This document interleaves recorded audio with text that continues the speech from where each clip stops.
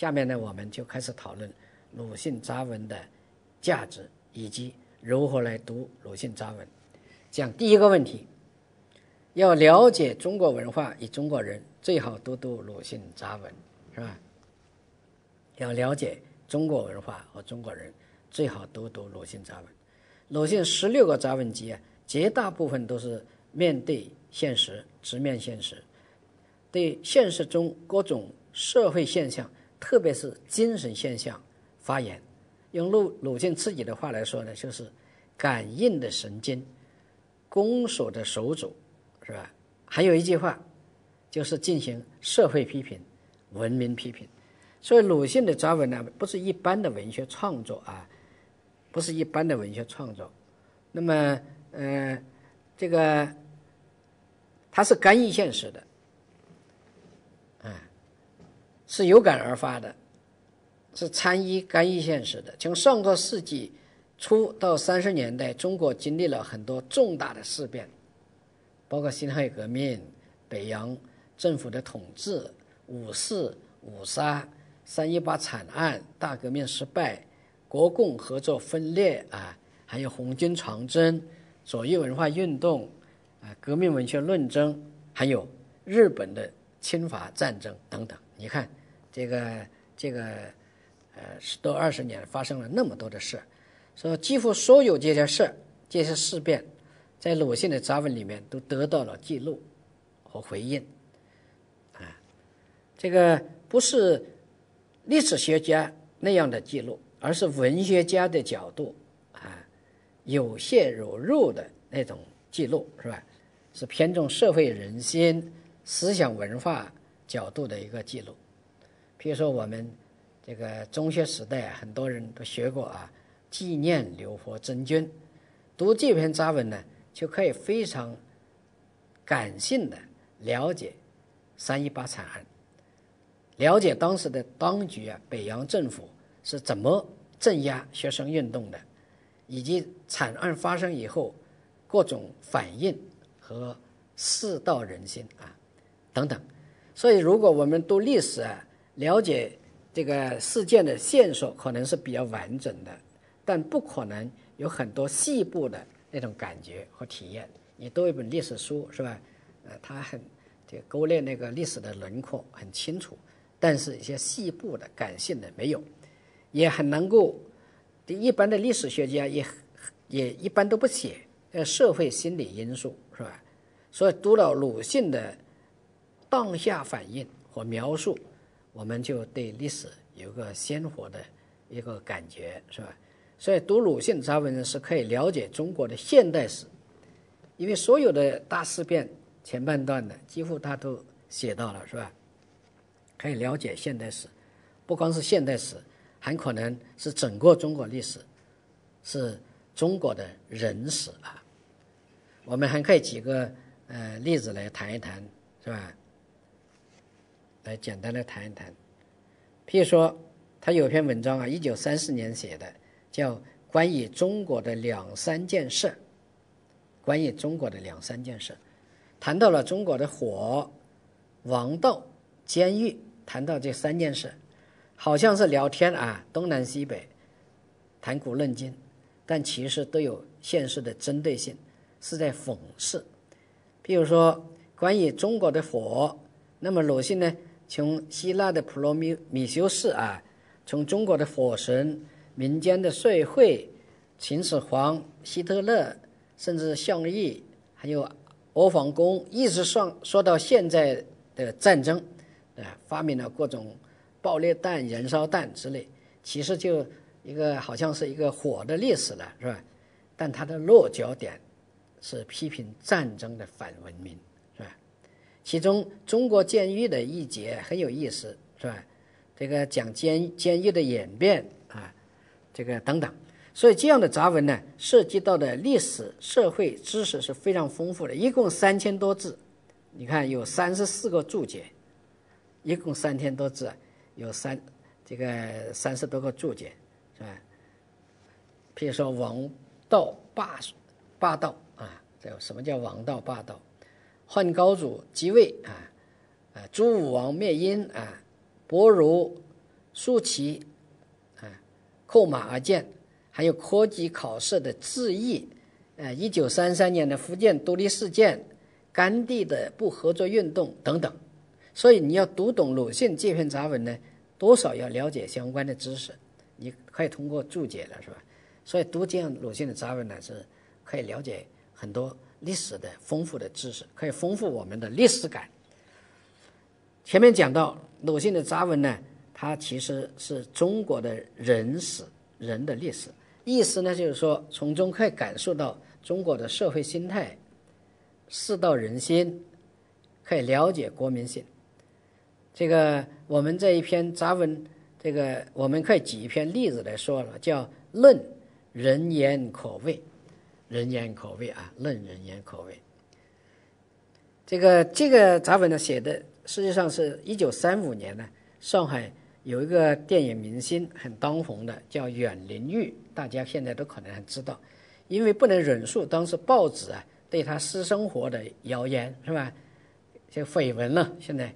结果自杀了，一时呢是非常轰动的，成了这个几乎新闻界的一个盛大的节日啊。鲁迅大概看到这种风尚，感到很不呃痛快，就写了这篇文章。他是剖析当时这个社会热点背后的那种心理现象，包括那个批判那种庸俗的小市民文化。现在我们读这样的杂文呢，就可以了解什么呢？社会史。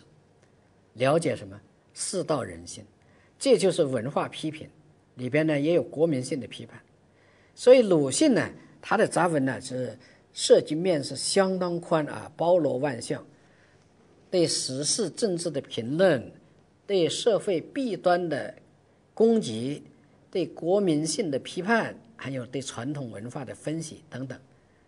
但鲁迅呢又不是坐而论道啊，不是跟学问家写文章那样啊。长篇大论的探究，他是短处突击，紧紧的围绕现实中生发的问题来发言，所以他这个鲁迅杂文呢，这个涉及面是相当宽的，包括战争、政治、经济、历史、文艺、教育、宗教、迷信、民俗、妇女儿童、传统、社会心理，甚至呢连广告、服装啊、出版、电影什么都有。虽然鲁迅写这杂文的时间是上个世纪的三十年代、二十年代，但实际上啊，它涉及的是一百多年来中国发生过的很多重大的社会现象。他这个写的时间是三十二三十年代了，是吧？但实际上呢，这个呃很多大的事件呢，一百多年来的社会现象，包括精神文化现象，都可以在鲁迅的杂文里面找到回应。所以读鲁迅的杂文呢，可以了解现代中国形形色色的社会现象和精神文化现象。就是如果我们读历史啊，可能是比较概括，是吧？比较理论化、知识化。但你结合着读鲁迅的杂文，就会获得一个很鲜活的历史感受。所以认真读鲁迅呢，把那些相关的历史人物事件。都有过了解，哪怕是大致的了解，就很不简单了。啊，人文社会科学的基本知识在里边都都有了啊。所以呢，作为文科的大学生，我建议这个大家多一点鲁迅的杂文，可以获得丰富的文史知识，了解现代中国的文化，了解我们传统文化的得失，特别是了解一百多年来我们民族的心灵史，了解国情。做到知人论事，啊，所以了解中国啊，除了接触社会现实，到乡下，到基层，是吧？到社会，很大程度上我们要通过书本。那么鲁迅的杂本杂文呢，就是一个很好的途径。说的更直接一点，鲁迅呢，可以让我们真正的了解中国的根底，中国人精神的老底子是什么样的，是吧？而这些不是通过一般的知识传授就可以做到，要有体验，要有感性的进入，所以鲁迅可以帮助我们来达到啊。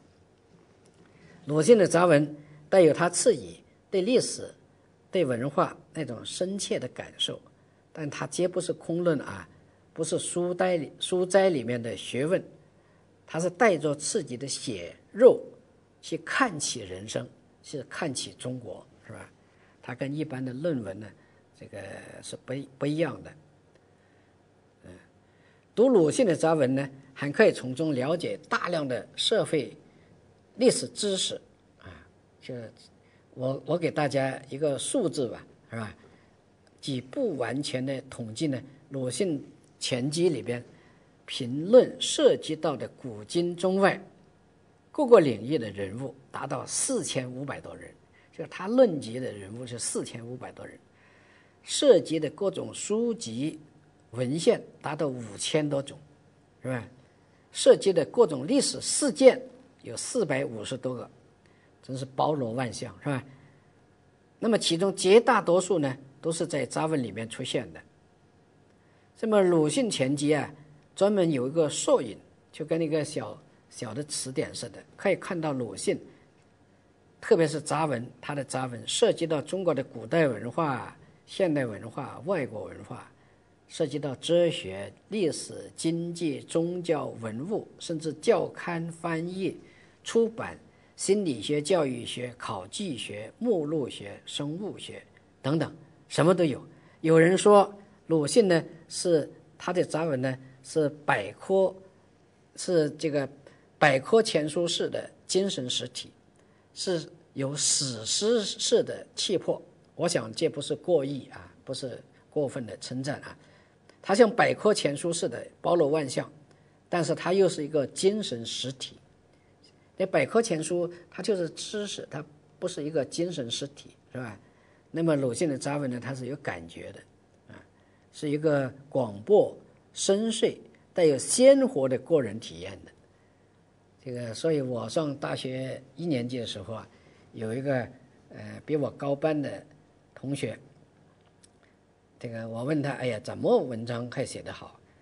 他是说了一句话，他说：“好好读鲁迅的文章，是吧？把鲁迅全集给读下来。”我照他的做了，在大学期间呢，就把鲁迅全集读下来了。确实是数亿无穷啊！我讲了第一个问题了，就是大家要读点鲁迅的杂文，是吧？第二个问题，如何看待鲁迅杂文所谓尖刻与骂人？如何看待鲁迅杂文呢？尖刻，骂人。那么鲁迅杂文骂人，确实骂人。怎么看？他的杂文里面是有很多骂的，是吧？譬如说他骂那个梁实秋，这些大家都了解了。骂那个学衡派很厉害啊，鲁迅是非常厉害，他一骂谁，谁就出名了，谁就倒霉了。当然，从现在的眼光来看呢，鲁迅有时骂也骂得太狠了，是吧？比如说他骂学衡派，啊，有点刻薄啊，说学衡派根本就是横，这个他的学问呢横横不出几几个斤两来啊。学衡派其实他也有他的道理，虽然比较。保守，比较有点书呆子气，他们对当时新文化运动这个来阻挡、来反对是不明智的。但是这些人在文化建设方面，啊，他这个采取比较稳妥的步骤，也提出了一些建设性的意见。应该说他们是还是有眼光的。但鲁迅为什么当年要骂他们、要批判他们呢？是吧？是因为。从大的地方来看，因为五四新文化运动要要要发展要发生是吧？这个所以从大的方面来看，这个阻挡这个是不合适的。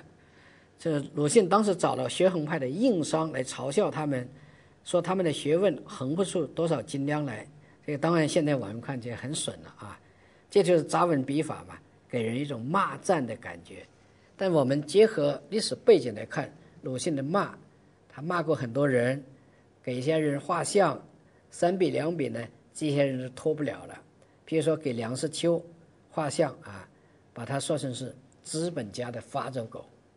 鲁迅呢还骂什么媚态的猫、扬长恶少、革命小贩、奴隶总管等等，都是有所指的，会联系到具体的人和事。但是我们呢，也不要理解为鲁迅所谓骂呢。就是某一个人，就是某一件事，其实鲁迅是在这个描画某一种社会现象。鲁迅是没有私仇，只有公敌啊。所以我们读鲁迅的时候呢，这些骂人的文章，要尽可能的了解一下时代的背景，是吧？尽可能了解一个时代背景，不要光是呢这个认为这个鲁迅呢这个骂人啊，就是这这个这个呃，觉得他这个文章不可理解啊。鲁迅是刻薄，确实他的文章啊，有时像辫子一样，把论敌呢这个抽得够够够狠的。就叫鞭辟鞭辟入里嘛，相当厉害。所以有人呢说鲁迅是绍兴师爷，是刀臂力。当然这个是对鲁迅的攻击。这个那时候啊，鲁迅的故乡绍绍兴呢，以前农村呢，替人家写状纸的角色就叫做绍兴师爷，是吧？这个能够把死的说成是活的。如果说鲁迅的文笔厉害啊，应该承认，确实他是有点刀笔力。不过他要比刀笔力要高多了，是吧？鲁迅的杂文是有眼界、有思想、有发现的，绝对不是横不讲理的。鲁迅自己也承认呢，啊，他也承认，他这个《华盖集》里边呢说过这样一句话，我念给大家听听啊。他承认自己的文章这个厉害啊。我自己知道，在中国，我的笔要算较为尖刻的。说话有时也不留情面，但我呢又知道人们怎样的用了公理正义的美名，正人君子的徽号，温良敦厚的假脸，流言公论的武器，吞吐曲折的文字，行事利己，使无刀无笔的弱者不得喘息。倘使我没有借笔，也就是被欺负的。复数无门的一个了，我觉悟了，所以要常用。就鲁迅他认为我的文笔是厉害，是有时候是很尖刻，但是你看看这个环境呢，是吧？所以鲁迅很自觉，他他说我就是刀笔利啊，谁要跟谁跟鲁迅论争啊，是很难占上风的，是吧？所以鲁迅的杂文呢，所谓尖刻骂人，跟这种文体的批判功能也是有关系的。鲁迅的杂文就是批判的，就是论战的，是吧？他的杂文呢，批判的广度、深度、尖锐的程度，在现代中国独一无二。所以，鲁迅的杂文可以说带有某种先锋性，从思想到艺术，都对读者的思维和审美的习惯构成挑战，是吧？鲁迅的那种不克绝敌，战者不不止。那种批判精神，是有违于，就是跟违背中国传统文化的所谓“术道中庸”，是吧？具有鲜明的反叛性和意志性啊！这也是鲁迅呢其人其文容易被人看作尖刻一个原因吧。